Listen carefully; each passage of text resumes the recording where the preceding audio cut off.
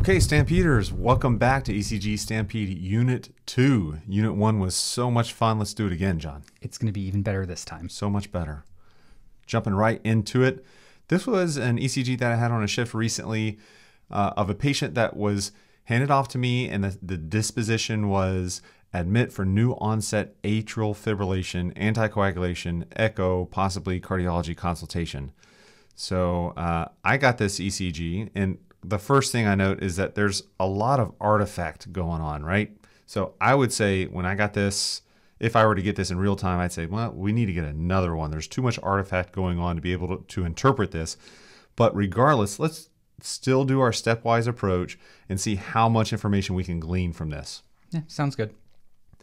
Okay, rate, uh, kind of slowish, uh, maybe like around 60 or so, but normal. Rhythm, boy, I can understand why they said atrial fibrillation. It does look pretty irregular, and the artifact certainly complicates things. It makes it a little bit tougher. But remember, we had mentioned in the last unit that the best leads to look at for P waves are 2 and V1. So often you'll see that either one of those leads is the rhythm strip at the bottom. So let's blow up that rhythm strip and really hone in on it to see if we can figure out what the rhythm is. And it just so happens that 2 really gives you the nice, the best baseline of all that has the least amount of artifact. So if I kind of take a 30,000 foot approach here and just look at this globally, what I noticed right off the bat is that there seems to be clusters of beats. And I'm going to see if you buy this, John. So I think this is a cluster of three, another cluster of three, and another cluster of three. You buying that? Yeah, I'll buy what you're selling. Okay. I do see some P waves way over here. I see a P wave there. I see another P wave preceding that QRS. I don't see one here. And in fact, if I march out these QRS complexes, it seems like this one comes a little prematurely. And that sort of pattern is repeated over here. So QRS complex there, and then this one comes a little prematurely, and the same over here. It comes a little prematurely, and also not associated with a P wave, whereas the other two in that pattern are. So, what do you think is going on? I don't know. That's why I'm here to learn from you. Okay. Uh, I I'd appreciate you to participate. This is like you know, there's two of us here. We're doing this together, but that's fine. I'll take over. Whatever. I mean, So- I, can, I can jump in if you'd like, but I don't want you to anymore. Okay. Your moment has gone. So there is such a thing as premature atrial complexes. There's such a thing as premature ventricular complexes. You've heard of PVCs, yes? yeah, yeah. Well, also in the same manner, you can have premature junctional complexes or PJCs. And so these would be narrow complexes not associated with a P wave. And so that's what I'm seeing here. Let me kind of erase some of this stuff here so we can take another look at it. So I think that these premature beats that come after two normally conducted beats are PJCs, and it happens in a pattern of trigeminy. Oh, Yeah, million dollar word. I like that. Three million dollar word, trigeminy. So uh, this is I w- the way that I would describe this rhythm is that it's trigeminy with premature junctional complexes.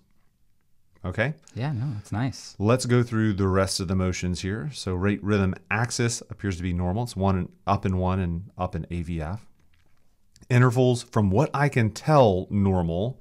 And the QT interval you can really see and lead two, as well as the PR and the QRS appears narrow. So I'd say probably normal, although I'm limited somewhat by the artifact. And in terms of signs of ischemia, I don't see anything obvious, but we really need a repeat ECG. There's too much artifact on this one. But suffice it to say that at least on this ECG, you can still glean enough information to say that this is actually not atrial fibrillation. This patient doesn't need to be anticoagulated. She can resume her normal activities. She can resume um, Full con- contact? contact sports. You know, she can resume her, her linebacker profession. And uh, we wanted to also talk about the the concept of these clusters of beats. And what do you think of when you see clusters of beats like that usually, John? So, you know, we think of like pattern beats by Gemini, trigeminy, quadrigeminy, but then we also think of, Pentagemini, oh, that's hexagemini, all right. Now you're going too far, do- dodecad. Okay. too much. So we also think of rhythms that cause group beats, like Mobitz 1 or even like Mobitz 2 with a fixed ratio. Um, but we're going to get to those in units that are coming up. Cool. Yeah. So this is a, I would call this a regularly irregular pattern as opposed to an irregularly irregular pattern, which is what you would expect from atrial fibrillation. On to the next one. Yeah, good case. You, you take this one. This is a 43 year old that presented with chest pain. All right, so looking at the ECG, I see a fast rate, about 125 or so, with a sinus rhythm. There's a normal axis, and I see normal intervals. Uh, we can see ST ele- elevations in the inferior leads as well as laterally. And I also see uh, in V1 to V3, there are ST depressions. And I want to get a little bit more specific looking at those leads right now in those leads, we see that the R wave is greater than the S wave, and that the T wave there is actually upright. So, this whole pattern that I'm seeing uh, of ST changes is an inferior MI with posterior extension. Okay, posterior extension. Talk to me about posterior extension. What does that look like? So, it looks like that. Okay. um, so, in the anterior leads, which is what we're depicting here. We've pulled uh, a, a, a snapshot out of V2. We can see ST depressions. And now we normally talk about ST elevations for acute MI, but in posterior MIs, we see ST depressions in the anterior leads. And Ben, do you want to tell folks why that is? Sure. What you're really seeing are reciprocal changes for the posterior wall of the heart. We don't have any posterior leads on a standard 12 lead ECG. So just like we would see reciprocal changes for any other STEMI, we see reciprocal changes for a posterior STEMI. They just show up on the anterior precordial leads. So that's what you're seeing with that ST depression. It's really a reciprocal change. And uh, the, the large R wave that you see essentially represents a Q wave of the posterior wall. So you may not see that early on, but as the infarct progresses, you will see those large Q waves or R waves on the anterior precordial leads, you typically will see an upright T wave as well. So that constellation of findings in the anterior precordial leads suggests a posterior STEMI. So as opposed to an anterior subendocardial ischemic pattern, you might expect to see T wave inversions and maybe not such a large R wave. But if you don't remember that those three findings, then you know just if you see ST depressions the anterior leads, get some posterior leads. So how do you do posterior leads, John? So what you do is you'll actually just continue your precordial leads around the back, adding on V7, V8, and V9. And once you get your ECG with those leads, you're actually only looking for 0.5 millimeters of elevation to just find your MI. Cool. Yeah. So you put some leads on the back below the left scapula you run the ECG, you call those V7, 8, and 9, and if you see half a millimeter of ST elevation, then we're calling that a, a, a STEMI, right? Yeah. And these are the ones that we typically miss, the isolated posterior STEMIs. When it's associated with an inferior STEMI, like they usually are, we don't miss those. Yeah, but the posterior ones we miss. This one was much easier because you had the inferior elevations as well. I mean, isolated posterior MIs are really only about 4% of total MIs. Um, and honestly, they have worse prognoses because we honestly we don't catch them because they don't have the typical ST elevations that we see with well, the other. You don't regions. catch them. Let's be more specific. True, and well, the Stampeders won't make that mistake going forward after they watch this. Though. They shan't. On to the next case. Number three, a 55 year old female that presented with chest pain. I'll take this one, John. I'll give you a break. Okay, so what I see is a slow ish rate around 60 or so. It looks sinus. I see P waves for every QRS and vice versa. The axis appears normal. It's up in one, up in AVF. And in terms of intervals, I definitely see some interval changes. There's a, a wide QRS. PR and QT look okay, but that QRS is wide, and we need to explain that. Last unit, we went over left bundle branch blocks and right bundle branch blocks. And we talked about when you see a left bundle, it's primarily downgoing in V1, like this one, so a small r and a large S. And in V6, in the other lateral leads, like uh, 1 and AVL, the QRS complex should be primarily upgoing and it can be monophasic like it is in V6 or it can be notched like it is in AVL. You see a little notch there. And you also notice the lack of Q waves in the lateral leads, uh, which is a typical finding for a left bundle. And you see some T wave inversions in the lateral leads too. All of that to say that this is a left bundle branch block. So, what I notice, in addition to just the findings for a left bundle branch block, is that there are some ST changes. So, by the time we get to signs of ischemia, I definitely see some ST changes but not necessarily it's it's not necessarily abnormal to see some ST changes in the setting of a left bundle. We expect to see discordant changes. Discordant meaning in the opposite direction as the QRS complex. So I'm going to let you, John, describe what uh, inappropriate changes, ST changes are in the setting of a left bundle. Yeah. So Back in the late 90s, a group led by Dr. Elena Sgarbossa created a decision tool to identify ischemia in left bundle branch blocks. Uh, and they named the rule for her, Sgarbossa's criteria. And over time, it's actually been modified um, and made a little bit more sensitive. And we're going to talk about all of these aspects of the rule.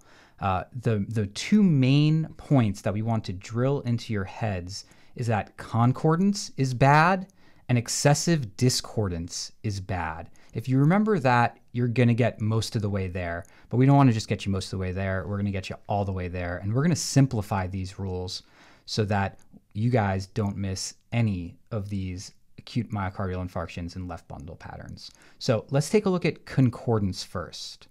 So concordance means that the ST segment and the QRS uh, amplitude will be in the same direction, which is never normal in left bundle patterns. On the left there, we see ST segment depression associated with a downward going QRS complex. And on the right, we see ST elevations with an upward going QRS complex.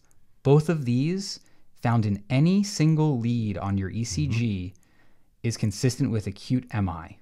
Right, Ben? Yeah, we typically see the downgoing complexes in the anterior precordial leads like V1 to V3, sometimes in the inferior leads as well. And you would expect to see the upgoing complexes usually in the the lateral leads like one avl v5 v6 uh, but it can happen anywhere. You can have concordant changes anywhere along the ecg and it actually only has to be in one lead also. It doesn't need to be in consecutive leads like your typical sort of STEMI criteria. It could just be in one lead and if you see that bad. All right so now let's talk a little bit more about excessive discordance. So like we said discordance is normal in left bundle branch morphology However, when there's too much discordance, that's also bad. When the criteria was originally created for this, we were, uh, the thought was that anything greater than five millimeters of discordance of the ST segment is bad and would be a marker for acute MI.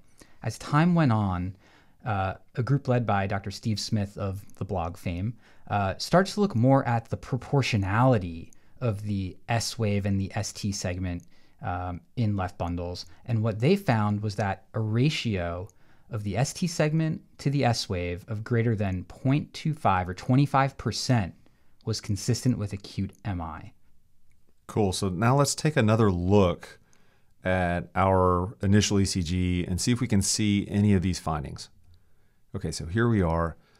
I'm kind of glancing around the limb leads and the precordial leads. I don't see any concordant changes. Now let's look for excessive discordance. I see lots of discordant changes, especially in the anterior precordial leads. You can see a little bit of discordant changes in one and AVL as, as well. But what I'm really going to kind of focus in on are some of these anterior precordial ST elevations and see whether or not that's excessive discordance. So let's zoom in on V3. All right, now it's a bit of a wandering baseline, but remember we want to consider the TP segment as our baseline. So I'm going to draw a line right there. And we're going to take a look at the degree, the amplitude of ST elevation, which to me appears close. It's more like three and three quarters, but I'm going to call it four millimeters. And then I'm going to look at the S wave and see how big the amplitude of the S wave is. And we'll call that, um, let's be generous and call it seven and a half. We'll be a little conservative. How about that? Okay, so four over seven and a half, clearly that is greater than 25%. Right, John? Uh, since you're so good at math.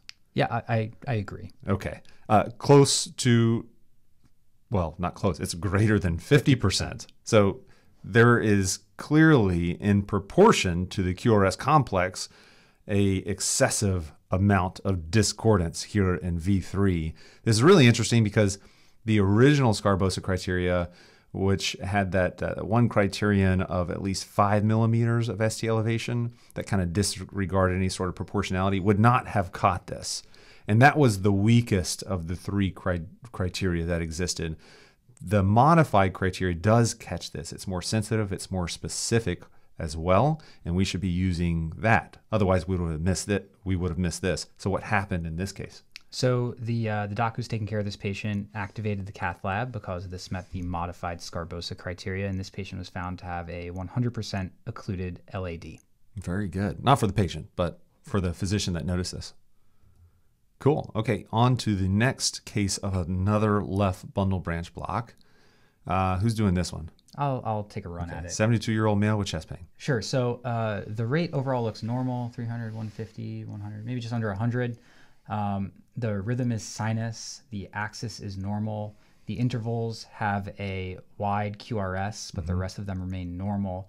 Um, and we can explain the wide QRS by the left bundle morphology, as Ben had hinted at as we open this ECG. So we have a left bundle branch pattern here. Now, when looking for ischemic changes, we're going to apply the modified Sgarbossa criteria, and we're going to look first for any concordance. So as we look around the ECG, I'm scanning around, mm-hmm. nothing in the precordium, mm-hmm. Out inferiorly, not much. High lateral leads, boom, there's our answer. So we look in AVL and we see concordant ST elevations in AVL. So, mm-hmm. like we mentioned, any concordance is bad. This patient in the setting of chest pain will activate the cath lab. Yeah, it's, it's not much concordant ST elevation, but it is some concordant ST elevation. That's really all it takes. And it's not even in contiguous leads. You just see it in AVL. But again, that's all it takes. You just need one lead and just any degree of concordant ST elevation. This patient ended up having a first diagonal occlusion. So good on the physician that caught this. Probably was not you, John. Eh, maybe, probably not. I'll take this one. 79 year old male that presented with syncope. The rhythm looks like sinus. I see P waves. The axis is not normal. There's a left axis deviation. So it's up in one, but it's down in AVF. So that means there's a left axis deviation, which we need to come back to in a minute and try to explain. Let's move on to intervals. PR looks normal, QT looks normal. And then in terms of signs of ischemia, I don't really see much there. We've got a left axis deviation that we need to explain. John, how many causes of left axis deviation are there? Five. How many fingers do you have? I have five on one hand. By the other hand, Inigo Montoya. Well, I have five on that one. Inigo Montoya does not, though. Wait, so does he have five on one and six on the other? Or does he have six on both? It's tough to say. I don't know. I don't We'll actually don't know the answer We're going to Google that later. You can write in and, and tell us the answer to the question of Inigo Montoya. so let's go through the causes, the five causes of left axis deviation. Easy to remember because you got five fingers. Yeah. No problem. So the first one uh, is one we already talked about left bundle branch blocks. Uh, the second one is inferior MIs. I would throw pace rhythm in there with a left bundle too. So if you see a pacemaker that paces the right ventric, uh, ventricle first, and it gives you a left bundle pattern. So that left Maybe axis that's Inigo Montoya's extra could one. be could that it could be that's what gives him six, right? So as I said before, inferior MIs, uh, the Q waves in the inferior leads that you develop with MIs uh, will um, appear to show your left axis deviation. Left ventricular hypertrophy, so a big thick LV, will help swing the axis over to the left.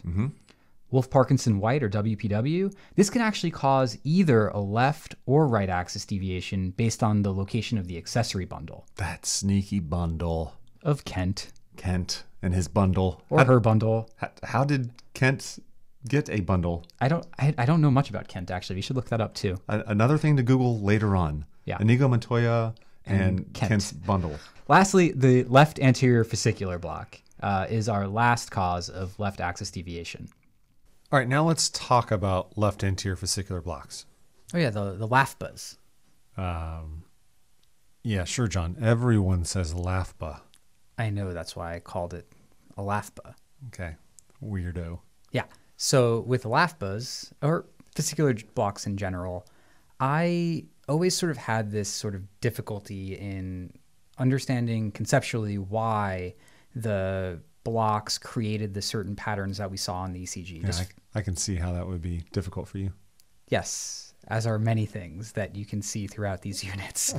um, but, you know, when I tried to think about fascicular blocks in order to get a much more clearer understanding, I thought that looking at the left ventricle in particular in cross section, similar to our parasternal short view of the LV, really helped me in terms of figuring out exactly what was happening electrically within the heart. And this view that we have on the schematic here sort of helped me through this process. And I think hopefully uh, it'll help you all too. Yeah. So remember, uh, another quick review of the conduction system. It goes from the junction here, breaks up into the right bundle and the left bundle. Left bundle actually has two fascicles associated with it. So it breaks up into an anterior fascicle and a posterior fascicle. So there's really three fascicles of the infranodal below the AV node conduction system. And that framework has existed uh, since really the late 60s when a lot of this work was done to sort of elucidate the conduction system. And it's not perfect. There's a lot of anatomic variation, and some people, John, even have a fourth fascicle. Now you're, you you're making stuff up. I, I feel that maybe you have a fourth fascicle. I think you're making that up. Okay, so it's again, it's not perfect, but it does exist um, as a framework that helps us conceptualize these things, and it also helps us to interpret the EKG. And so let's get rid of that and just focus in on this parasternal short view and think about the scenario of a left anterior fascicle, left anterior or, or a fascicular block rather. The left anterior fascicle sort of supplies that superolateral aspect of the left ventricle, whereas the left posterior fascicle supplies that inferior posterior aspect. So if the anterior fascicle were blocked, that means the signal has to spread from the, the area of the left posterior fascicle to that superior lateral area where the anterior fascicle would have uh, worked to depolarize that region, right? So what that does is it creates electrically a, a large axis shift. Okay, so as things spread from the inferior posterior aspect all the way to the superior lateral aspect, it, it shifts that axis quite leftward.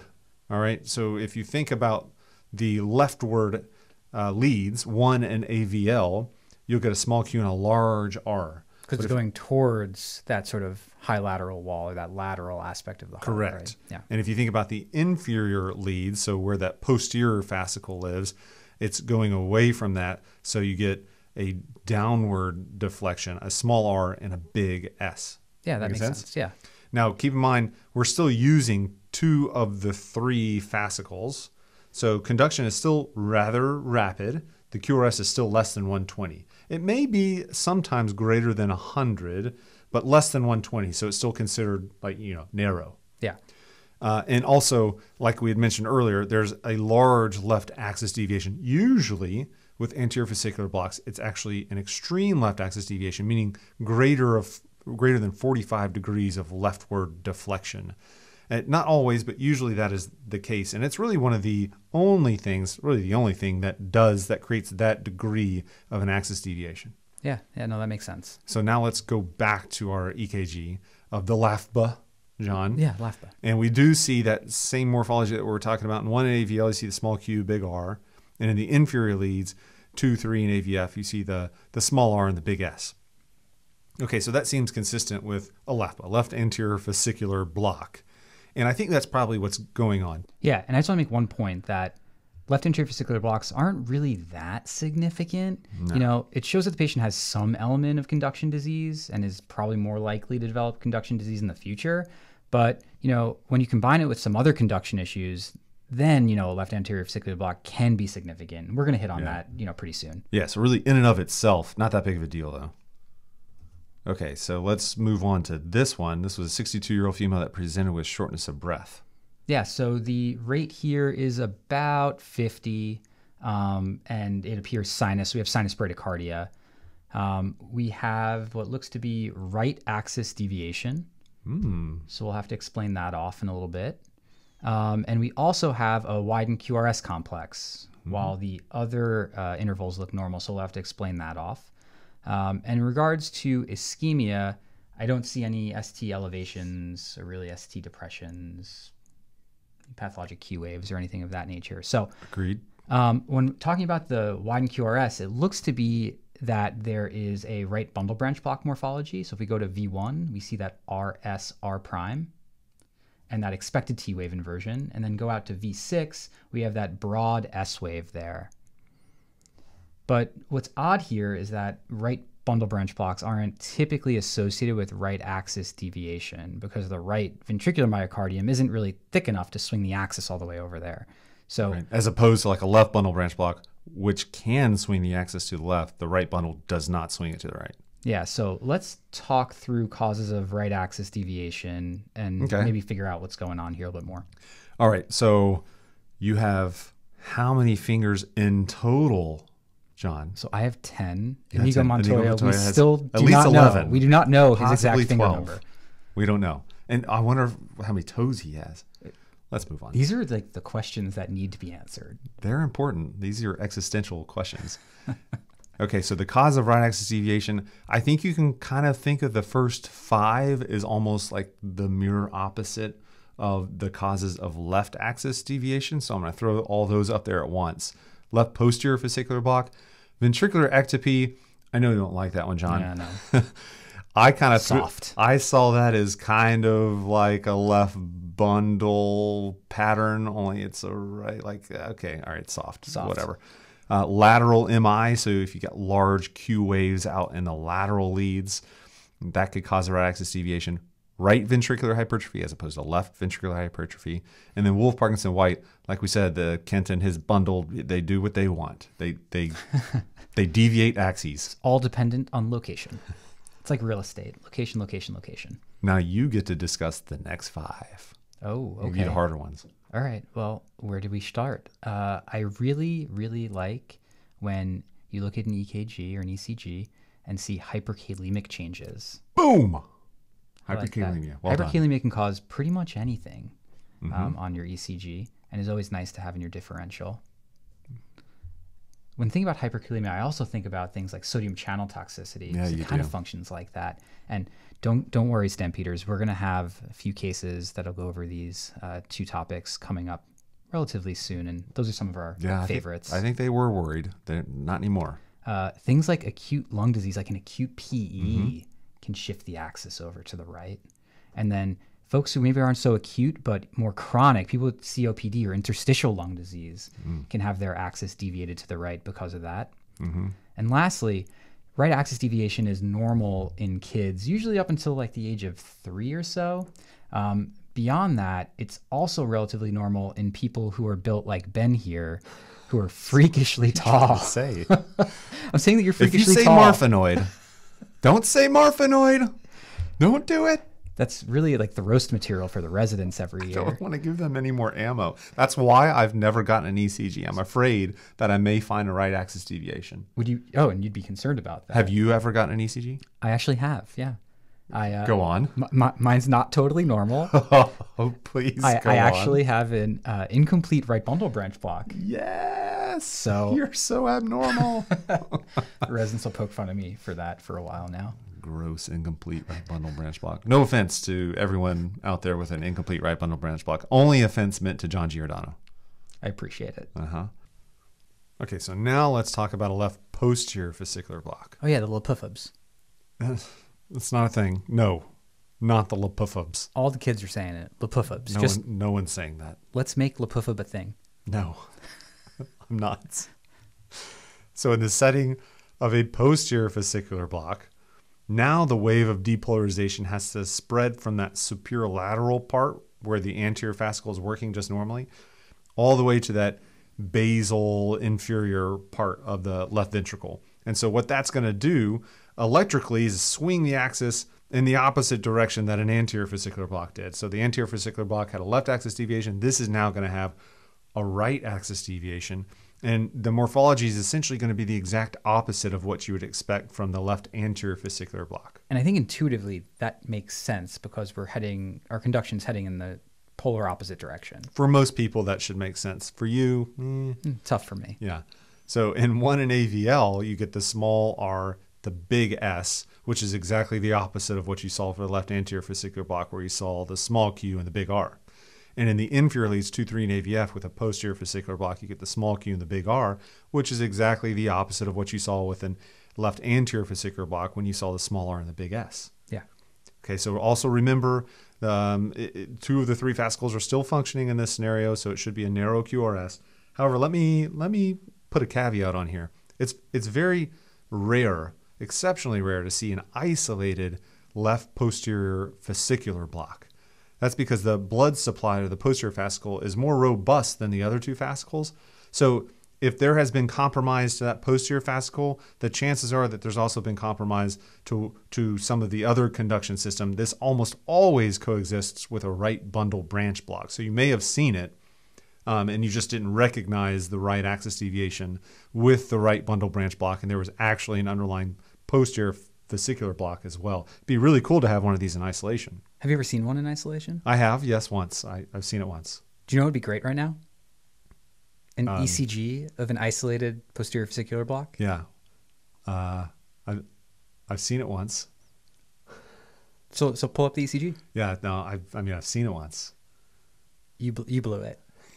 if only you had saved the ECG. That was, that was a stampede fail. I, d- I didn't save the EKG. All right. Well, the clinical significance of these is really not not much. If, if you see these in isolation, so if you see just a single fascicle that's out, especially for emergency medicine, that's not really clinically significant at all. You don't need to do anything about that. But when you start seeing multiple fascicles with with disease in them, now we're talking like that's that could represent some serious pathology. That could progress to something like complete heart block. So when you start seeing bifascicular blocks or trifascicular disease, then then that becomes more of an issue. But in and of themselves, not really all that significant. And I think that's really what we're seeing on this ECG is a bifascicular block. All right, this was a 72, 72 year old that presented with anxiety, and I'll take this one.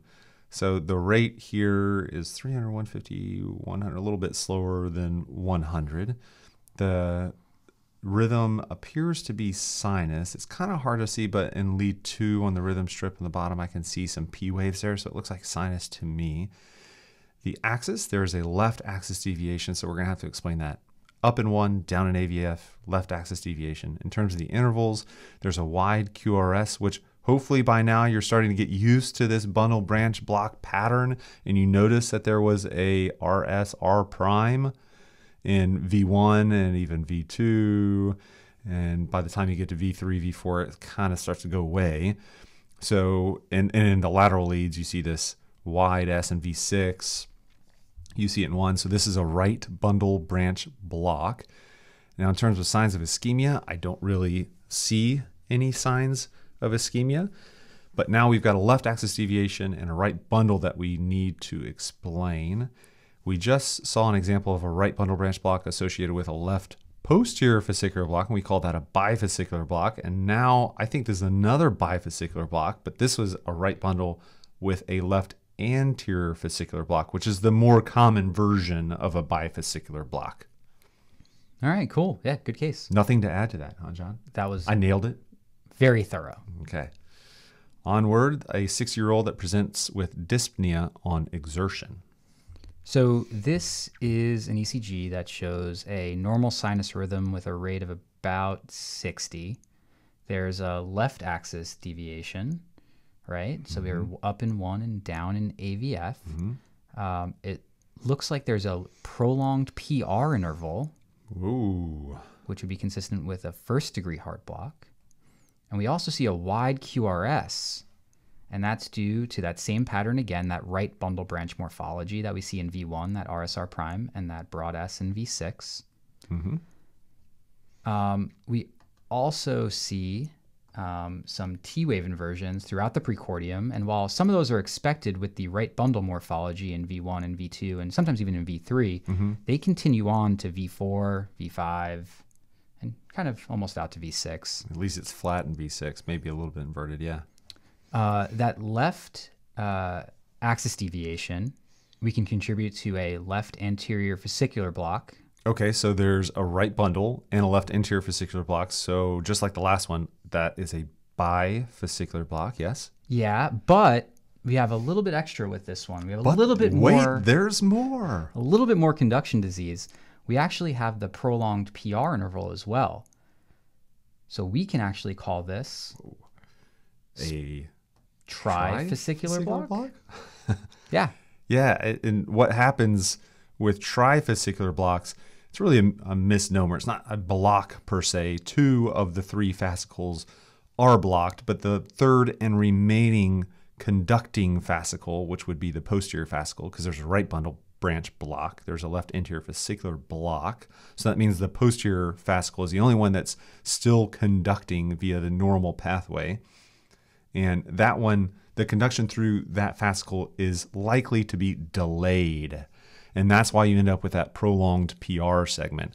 It is entirely possible that this is a first degree heart block that is secondary to um, any other sort of uh, increased vagal tone that you would expect from someone that's more healthy, like you, you know, a um, an athlete, someone, Someone, someone like you. someone, someone more like me and less like you. oh, That's perfect. what I'm saying. Got it. Understood. You know, maybe I would have a first degree heart block on my ECG, and that would combat my right axis deviation. They kind of balance out. So it's like one is not cool and the other one's cool. And then I'm just kind of back to being normal. Gotcha. Yeah. Uh, yeah, so you may expect that in like younger people, kids, not abnormal to have a first degree block. We typically think of that as just kind of some slow conduction through the AV node, secondary to some increased vagal tone or something, not a big deal. But in the setting of someone who already has extensive conduction disease, has this bifascicular block, when you see a prolonged PR like that, it likely represents disease of the third remaining fascicle. And that's what we see here. We also see all those signs of ischemia that John talked about. So this is kind of a worrisome ECG to me. Yeah, so I just want to make a quick point about disposition of this gentleman. So when we talk about trifascicular blocks and even bifascicular blocks, uh, this is someone who has significant conduction disease. Their conduction system is significantly diseased, and you know these folks are at higher risks for going into inter- intermittent heart block, complete heart block. Um, and you know if they come in with anything like syncope or pre- pre-syncope, dyspnea on exertion is a good example. These are folks who I'm more likely to keep in the hospital uh, on telemetry and get evaluated by cardiology or EP for possible pacemaker placement. Yeah, definitely. Definitely, especially if they present with syncope, I would say that patient needs a pacemaker. That would be the concern, intermittent complete heart block. Because that third remaining fascicle just kind of, you know, it's very likely that it's giving out at times. Okay. Ooh. Oh, it's time. time. It's, It's time for the stampede. This is my favorite part. We who's that UFC announcer? Oh, Bruce Buffer. yeah, we should have Bruce Buffer come in right here. It's time. All right, you're going to do all of these, and then I'm going to critique you. oh, oh, okay. That's the All way this right. works. Alrighty, let's do it. Okay, the first one. This was our 57 year old female that presented with bilateral lower extremity edema who had a lot of artifact, but we determined that this was trigeminy with PJCs. Um, yeah, so nothing, you know, glaring at me that's super concerning that they need to come back right away. Um, I potentially keep this person in the waiting room for a little bit. Yeah, I would agree. I mean, I'm not happy with this ECG. I'd ask for another one, but presuming that the repeat looks normal, I- I think she could probably wait. That's fine.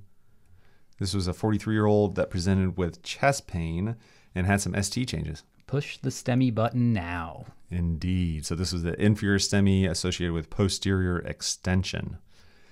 The 55 year old female that presented with chest pain and had a left bundle, So some people would look at this and say, "Oh, it's just the left bundle," but not you. not the Stampeders. No. No, no. They will recognize that this meets the modified Sgarbossa criteria in V3 and will also click the STEMI button. Yeah, they would recognize this with their eyes closed. They're that good.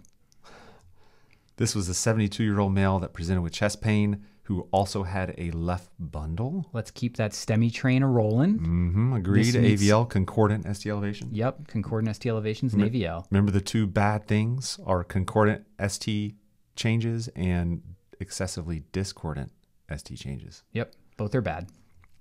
This was a 79 year old guy presented with syncope and had a left anterior fascicular block, but otherwise normal. So, you know, a 79 year old syncope is probably going to be in ESI level two and at the top of your waiting room no matter what. Um, if I was given just this ECG, I'd probably say next available. You know, an isolated fascicular block is not anything, you know, terrible that we need to worry about right now.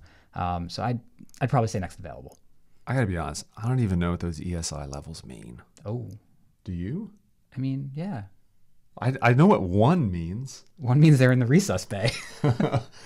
Uh, aside from that, I don't really know. yeah, I mean, you should work on that admin stuff. This was a 62 year old female that presented with shortness of breath.